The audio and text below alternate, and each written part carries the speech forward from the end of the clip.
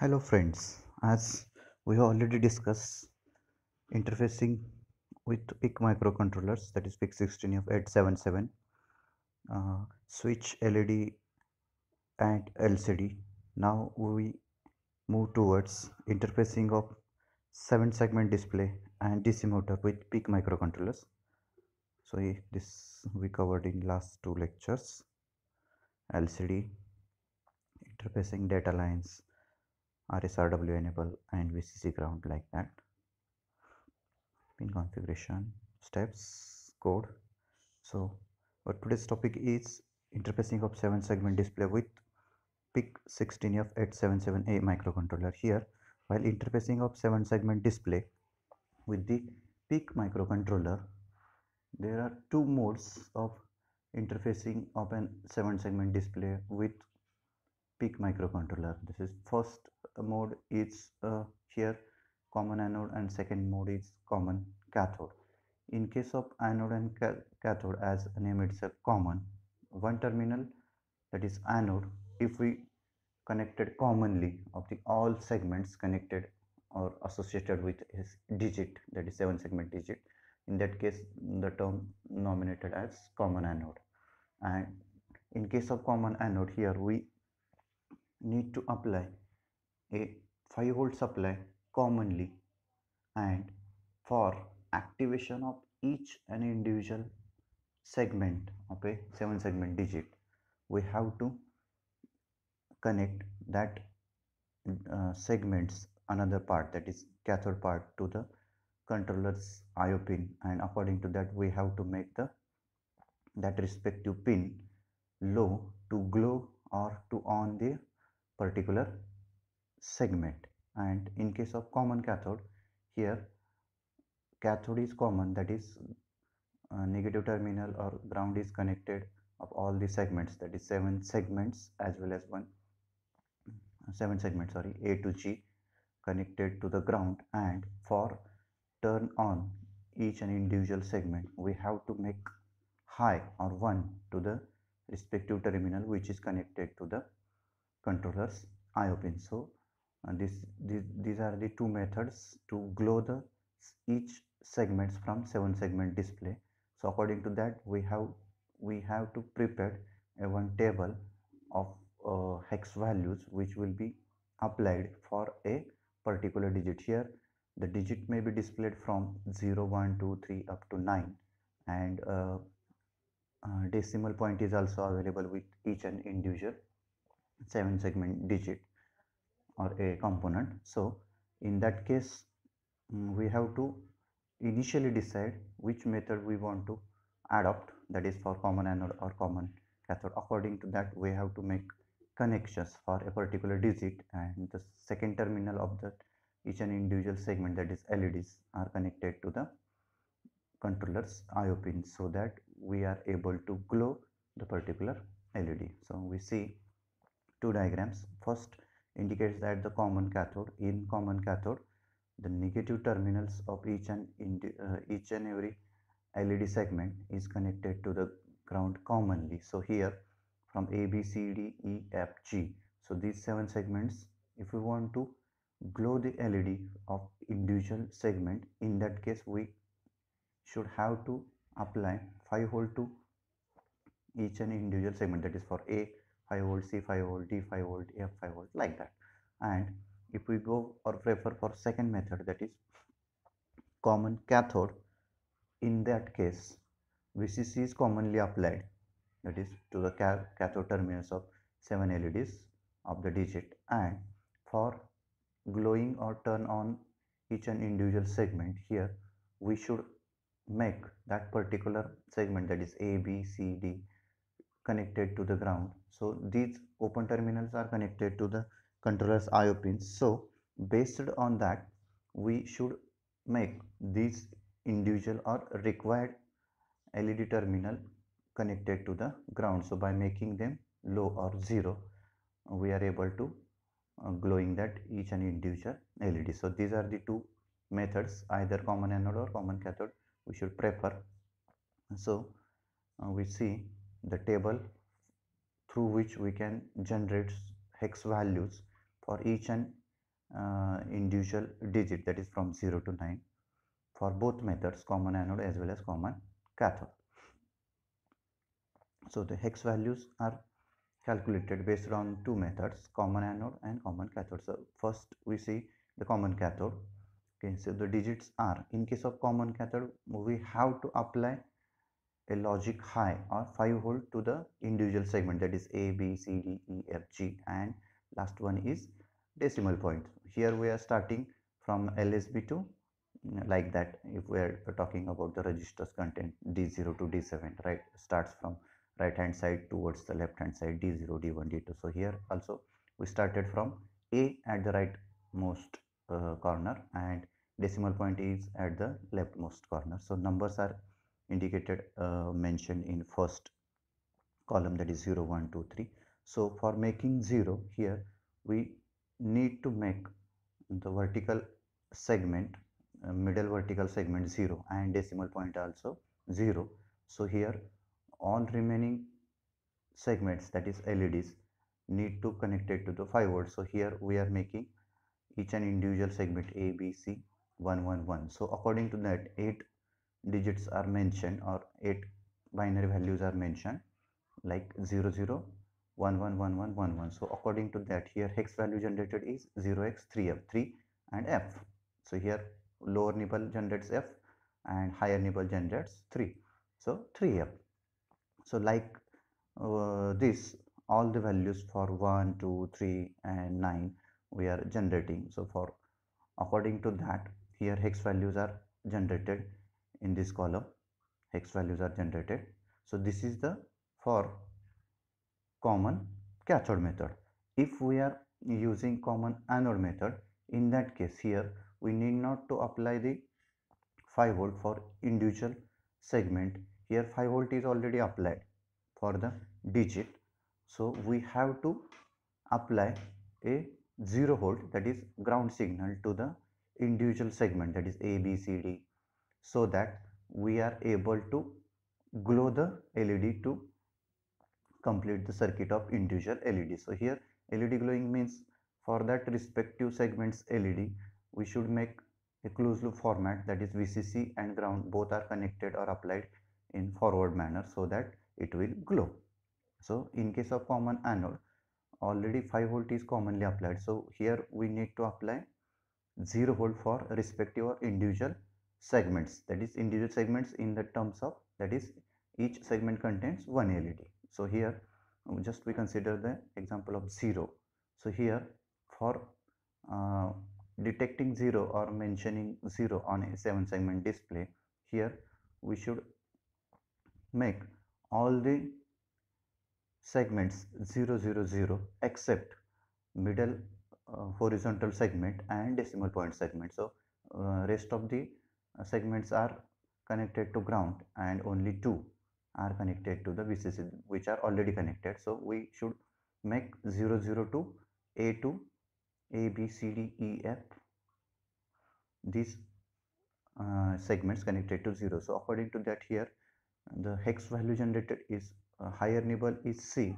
and lower nibble is 0. So 0x C0 like this uh, all the values are calculated for 1, 2, 3 and up to the 9. So these values initially we take in one uh, array so that we are able to access each and individual uh, value to the microcontrollers programming here we are discussing about interfacing of 7 segment digit with PIC16F microcontroller and we are uh, going for interfacing this 7 segment digit with PIC by incremental uh, method that is counts increments from 0 1 to 3 with some specified delay or delay as per your choice or requirement we are able to apply. So here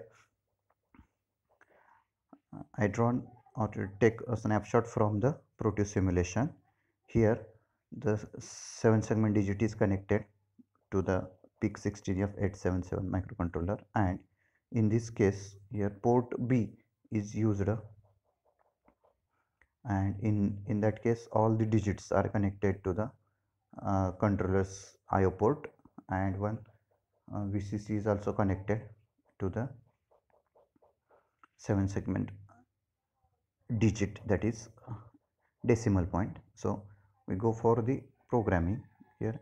No need to connect all uh, rest of the pin configuration like crystals oscillator as we are going for the simulation purpose only so here uh, c code for that. So after uh, moving to with the help of MPLAB selecting the uh, c c compiler that is HI-TECH c compiler with um, new project and adding the source file header file with the uh, simulation. And then we move towards the actual programming here.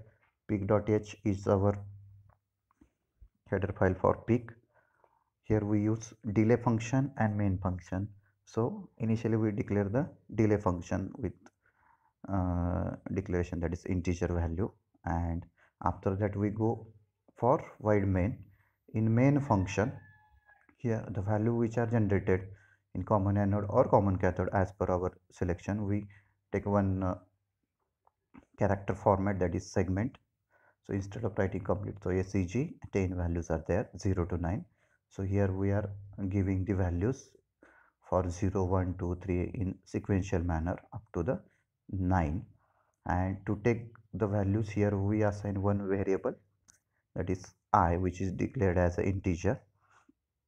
And if we use a port we can use any port port a sorry a port b c and d so out of these three that is uh, each port that is b c d port carries eight pins. So it is easy to interface seven segment with these ports. So for port a and port e it is not feasible or possible individually to interface a seven segment display with at that particular port only. If we are adding some pins from other ports then it is possible. But generally we prefer for port B, C or D.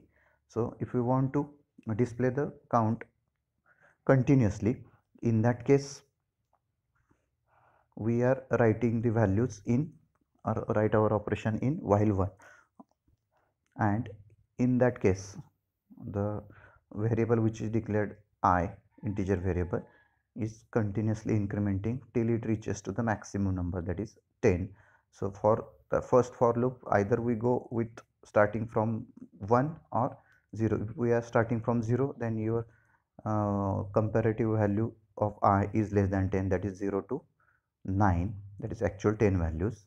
It will increment it. Otherwise if we are starting with 1 then it should be uh, plus 1 that is uh, less than 11 or less than equal to 10 anyway we can uh, define with the help of for loop. So whatever the value is there for segment that is segment i it will be automatically reflected towards port d and port d consists of interfacing of seven segment digits. So according to that our seven segments individual leds are mm, turn on or turn off with some delay. That is delay is mentioned here 100 millisecond. So uh, based on that or 100 microseconds sorry. Uh, based on that you may vary your delay. So delay function is also mentioned here. It's an integer of two variables x and y and two for loops. Here count is your nothing but your number actually. Here earlier we mentioned 100 so count initialized to the 100 and for that purpose declared. So as per your crystal frequency you may select a delay or generate delay. If we are using a 4 megahertz crystal oscillator in that case for individual delay function that is for for one loop only. So it will be generates or able to generate the count of 1 microsecond if we are selecting the 4 megahertz crystal. So according to that if we are using 1000 in that case 1 millisecond count is generated. And for that 1 millisecond again second for loop is used that is count. Again in that case here we are using 100 so 1 millisecond it repeats to the 100 times so it will generate and delay of 100 milliseconds. So this is related to the delay and here the values are assigned to the port individually. So as per uh, incremental manner so values are incrementing starts incrementing from 0 1 2 3 and it will be continuously uh, working as we are mentioning while 1 so it will works continuously. So this is the 7 segment display. After that we are moving towards the interfacing of DC motor with PIC16F877A microcontroller. So while interfacing DC motor with PIC microcontrollers here uh, we should take care of the current required to access or to uh, drive the DC motor is more as compared to the current delivered by the PIC microcontrollers. Here current delivery capacity of PIC microcontroller is maximum 25 milliampere at the 5 volt supply. So current delivery is nothing but here we uh, in digital circuits or digital ICs we consider the sourcing current and sinking current. In case of uh, sinking current we see the first sinking current the current which is uh, able to access or captured at the port pin that is input pin which is which is called as current sinking that is I sink by the controller and I source that is current sourcing capacity of the PIC is based on the how much current a particular controller or controller's port pin able to generate as output for driving some devices or components. So here the maximum uh, current uh, sourcing capacity of the PIC is 25 milliampere which is not sufficient for the driving of DC motor. Suppose we are driving the DC motor of 6 volt or 12 volt DC motor. So in that case um, here the DC motor requires um, around 50 milliampere current to drive the motors. And here the torque uh, uh, calculations are different for different motors. So again uh, current requirement is increases. So um, better to use some additional circuit to drive the motor if we are not uh, using additional circuit. In that case it may damages the controller's pins while accessing the or uh, interfacing the DC motor with PIC microcontroller. So here we are using um, a motor driver circuit that is L293D which is able to drive the two motors. And here uh, the pin configuration uh, for that it is mentioned. Along with that it will able to supply more the current more than 500 milliamperes with the variation in supply voltage of 4.5 volt to 36 volts. So here the pin configuration it is a 16 pin uh, DIP package IC which carries two supply connections at 8 and 16 pin and uh, two, two that is four ground connections. First combination first pair of ground is 4 and 5 second pair of ground is 12 and 13 so here six pins are associated with supply and ground two for supply and four for ground. Supply connections are 8 16 and ground connections are 4 5 12 and 13 to access the individual uh, circuit here we are able to drive the two motors. So here first uh, enable combination for uh, input and output is uh, at pin number 1 enable 1 and 2 and at pin number 9 enable 3 and 4 so the rest combination where we connect the inputs from the controller are first combination is at pin number 2 that is input 1 so according to that output is generated at pin number 3 with the boosted uh, version of current. That is current amplification is done and additional current is provided at pin number 3 so pair is input 1 output 1 at pin number 2 and 3 second input 2 and output 2 that is 7 6 so this will carries or drive a one motor and second motor is connected similarly to the input 3 at 10 and output 3 at 11 and next part is input 4 at 15 and output 4 at 14 so this is the pin configuration of motor driver IC L293D and here next versions are also available L293B like that. So as per our requirement we have to select this so here the input 1 input 2 which carries the port pins. Any port pins we may select. So according to that we are connect in our circuit diagram. Enable to directly giving to the 5 volt that is setting the enable and after that port pin whatever button or switch is connected for changing the direction of the motors that is forward reverse or clockwise anti-clockwise here one table is associated. That is if we are connecting rb0 pin and rb2 pin. In that case motor status will be if both pins are low low or high high motor will remains off or stop in stop condition. If um, first pin that is 0 1 is there in that case motor will uh, run in anti-clockwise direction. And if it is 1 0 motor will run in clockwise direction. So for same state of the both pins it will remains turned off. For 0 1 it will anti-clockwise. And 1 0 it will rotates in clockwise direction. So we move for the circuit diagram. Circuit diagram is here the PIC microcontroller. And here the motor. So in between that driver circuit is connected. Input 1 to enable pin and here output 1 output 2 is connected okay? And here second combination is for second motor. So here we are using only one motor. So we go further that is here our c program. Here pic.h is your header file. So individual pins are defined with the help of two um, bit that is IO pin that is RB0 RB1 as we mentioned and switch is connected at RB2 so first three pins from port B are used out of that two pins. All the pins RB0 RB1 and RB2 are used individually for input 1 input 2 and switch by changing the direction of motor. Here we need to define the status of the particular port pins. So here we mention like this and after that here we are using or checking the condition of switch if it is 1 or if it is 0 so for if switch is uh, gives the output 1 in that case we drive the motor else.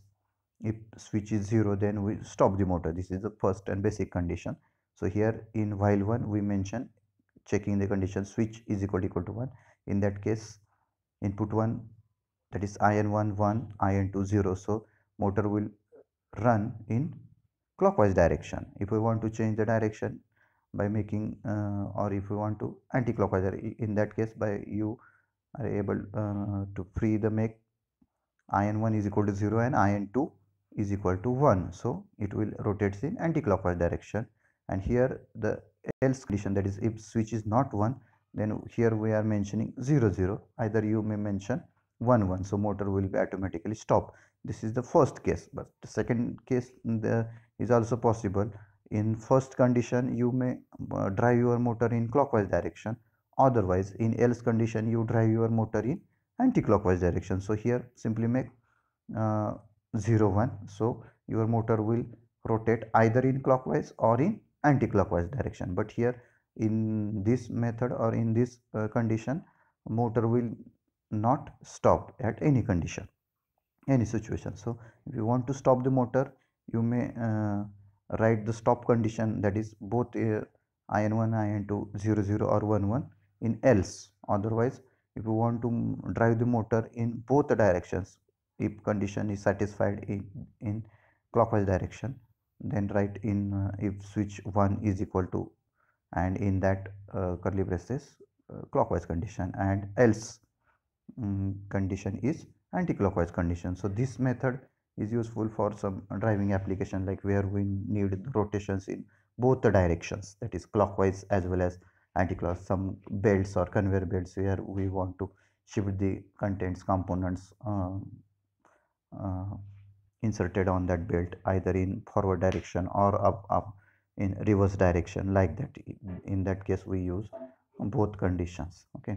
So this is regarding the interfacing of dc motor with the PIC microcontroller. And um, next part we will discuss about the interfacing of 7 segment display and keypad with the PIC 16F microcontroller. So uh, thank you for listening and watching. Thank you